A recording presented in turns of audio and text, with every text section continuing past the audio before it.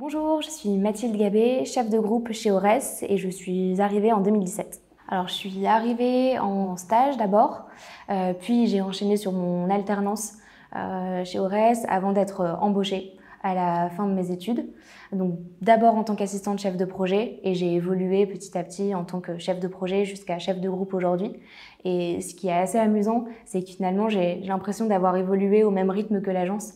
Quand je suis arrivée, on était une toute petite équipe de, de chefs de projet qui a évolué petit à petit et qui a depuis beaucoup grossi et s'est structuré.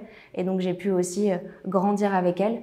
Et voilà, jusqu'à aujourd'hui, finalement, euh, pouvoir mettre à profit cette expérience pour pouvoir former de nouvelles recrues. Ce que j'adore chez Ores, c'est cette grande famille et cet état d'esprit qui fait partie vraiment de son ADN. Ores, c'est une agence intégrée qui intègre du coup aussi la, production et donc cet état d'esprit, on le ressent euh, au sein de l'agence, mais aussi dans sa façon de travailler. Parce qu'on intègre du coup chaque ressource dès le début du projet. On peut tous euh, être au même niveau, échanger ensemble, trouver des solutions ensemble. Et c'est ce qui fait vraiment cette force et ce, qui crée aussi ce, plaisir finalement de, travailler ici au sein de l'agence ORES.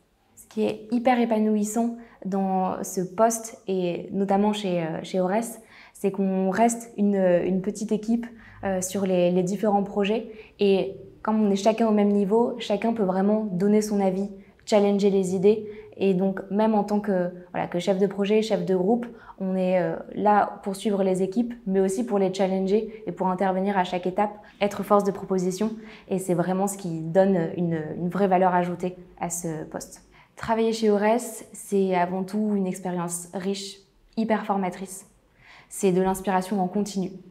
Et c'est aussi faire partie d'une vraie famille, ce que je trouve très fort et ce qui pour moi fait vraiment partie de, de l'ADN d'Ores.